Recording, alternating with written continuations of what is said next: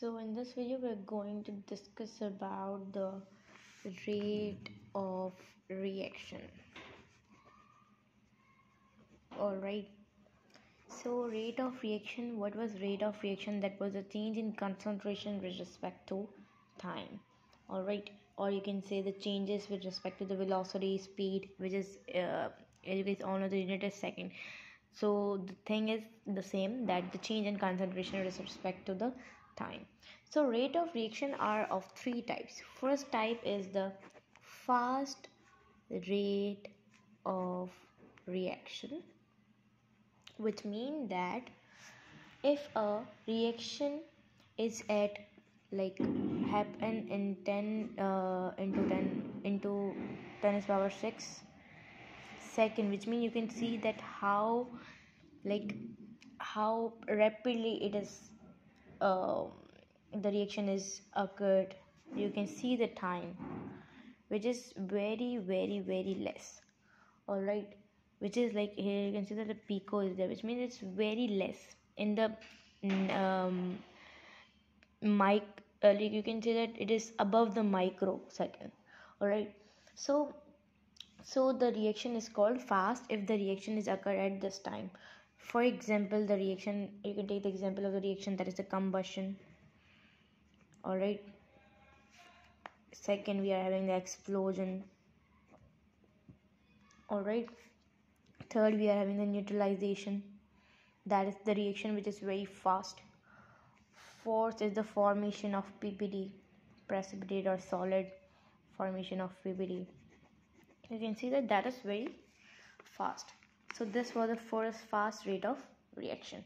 All right in this if we talk about that will be the the rate of reaction will be the you can say the rate will be the activation if we talk about their activation energy all right of the of reactant that will be low that will be low which means that will be having the fast reaction. All right?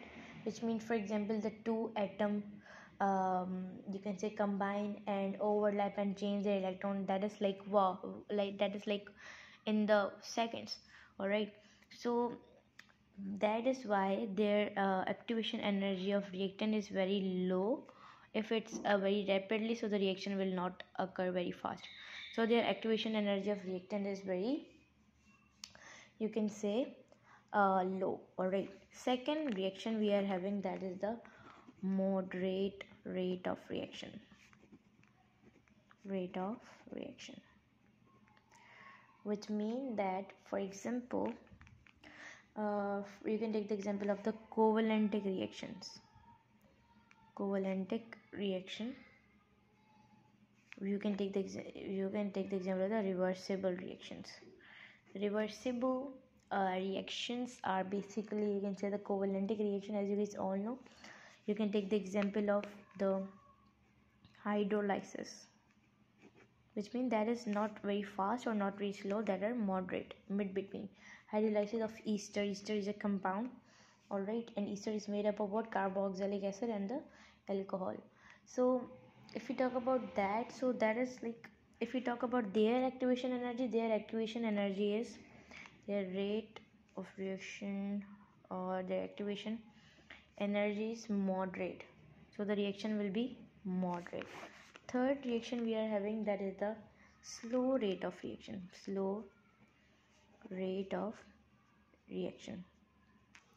Which means that it take it takes uh, time like days all right air or hours which means the rate uh, slow which means the reaction is very slow all right. You can take the example of the formation of diamond that take you can say many years all right.